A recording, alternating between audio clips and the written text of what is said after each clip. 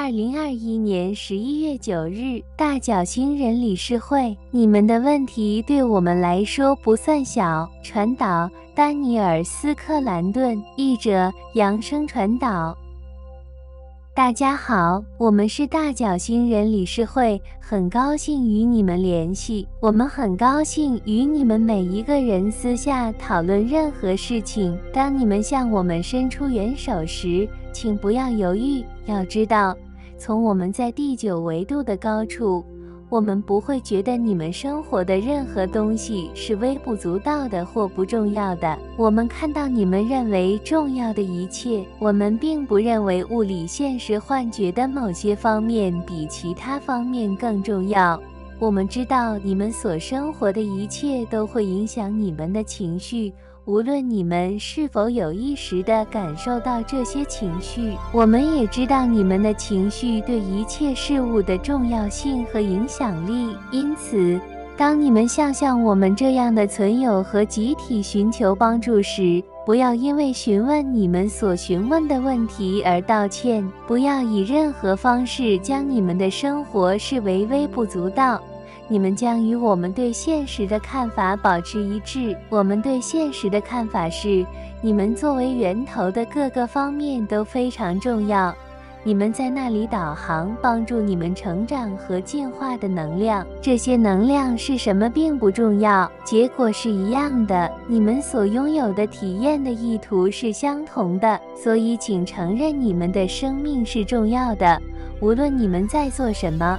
无论你们过住什么样的生活，你们都不会害羞的与我们大天使迈克尔、耶稣或其他任何你们可能投入的人联系在一个基座上。你们是我们的一部分，就像你们与身体的某个器官或某些细胞交谈一样。你们不会认为他们没有你们那么重要。尤其是当他们因疼痛或某种故障引起你们的注意时，我们希望你们快乐。我们的目标是让你们对我们的言语和能量感到满意。我们只是想让你们知道，你们的快乐很重要。你们的喜悦会影响你们扬升的方式，它会影响你们扬升的时间，但是不会影响你们是否可以扬升。你们可以在整个过程中感到快乐，或者你们可以把自己和整个扬升都看得太重。但我们将继续尝试说服你们要放轻松，不要减少你们自己或你们的问题。因为它们是你们此时选择成长和扩展的独特方式，我们很高兴有机会与你们分享，与你们一起成长，并尽我们所能帮助你们。因此，再次向我们伸出手，像我们一直在倾听一样对我们说话。因为我们有能力同时倾听地球上每个人的声音，甚至更多。你们在地球上所经历的一切，让我们充满同情心，让我们想要提供更多帮助。因为帮助你们和其他人是我们的全部，你们所生活的一切都在为我们服务。帮助我们实现以这种当前形式存在的目的。我们是大角星人理事会，很高兴与大家沟通。二零二一年十一月九日，天堂来信：生活是一个比喻。译者：扬声传导。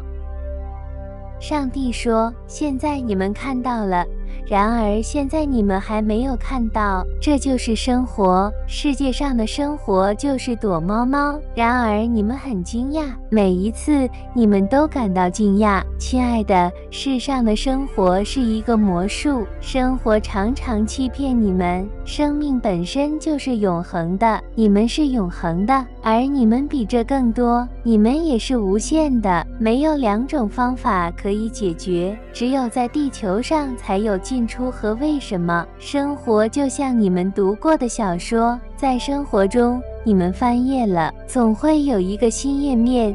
你们想知道下一页会显示什么？地球上的生命确实是一个翻页者，人生是一场修行，这是一种耐心的锻炼。生活是你们发现自己的一次探险。你们弯曲你们的肌肉，扭伤你们的指关节，可以这么说。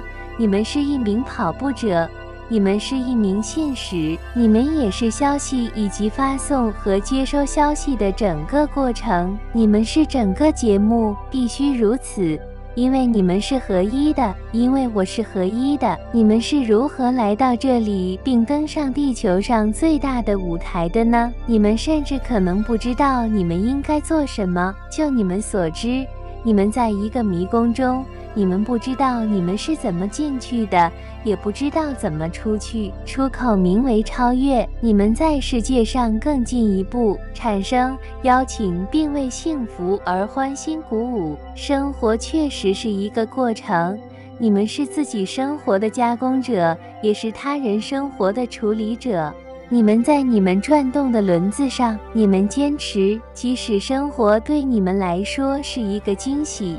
你们也将生活离心，愿你们有许多快乐的惊喜，提升你们的生活。这不像你们通过魔床来运行生活，你们和生命一起逃跑，就像他一样，你们一起私奔。无论如何，你们已经结婚了。你们说出你们的誓言，你们俩都说我愿意。誓言与婚礼誓言不同，但无论如何。